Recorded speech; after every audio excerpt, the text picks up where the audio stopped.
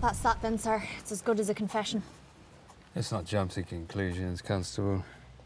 No, sir. Least we can do is talk to this other party. Yes, sir. Cocker-Norris, sir. Tell me, did you write everything down in that little notebook? Only if it's important, sir. How do you know if it's important? Well, I'll just sort of put everything in as we go, and then down the line, when we know what's important, we'll know that it's already in the notebook. So you do write everything down? Yeah, everything.